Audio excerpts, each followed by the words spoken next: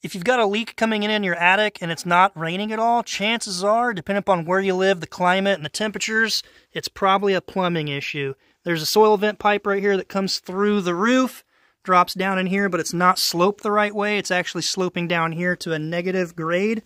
Goes back up higher there. Water runs downhill. Sets stagnant in here. We get some cold winter uh, winds that came in and weather. It actually froze. You can see the chunk of ice sitting in here right there. It expanded, fracturing the pipe all the way down, probably about a foot and a half, and now you got a, a leak coming into your attic, even with no rain. So you want to make sure your plumbing is vented the correct direction. I hope the video helped. If it did, give it a thumbs up, and also check the channel for the long version of this roof inspection.